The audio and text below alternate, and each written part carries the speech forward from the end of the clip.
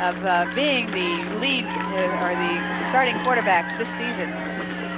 It took all sorts of awards last night in the firefighters parade. This is the Poquoson, right, high school band that we see now. Second last night, right? Second last night uh, with the majorette group. The overall band awards uh, also took second. Uh, drum major took fourth, but it uh, in its class A bands that took first place. That's 97 instruments are over, and their drill team took fifth.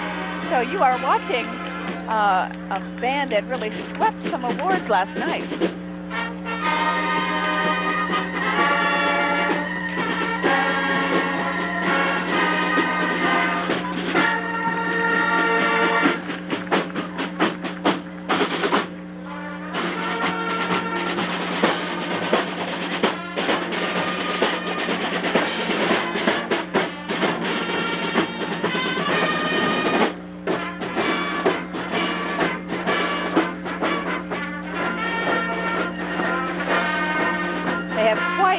Uh, uh, pom-pom drill team as well with those gorgeous copper-colored pom-poms.